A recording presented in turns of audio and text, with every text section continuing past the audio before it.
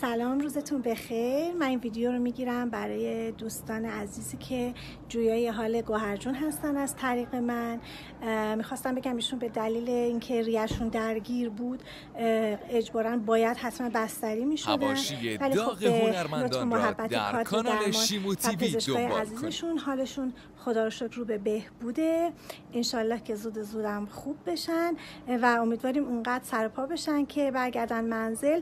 چون که با وجود ضعف جسمانی که دارن ما بیشتر نگرانشونیم. بعد از مرخص شدنشون بتونن در واقع به سلامتی کامل هر زودتر برسن. خیلی ممنون از احوال پرسه همتون.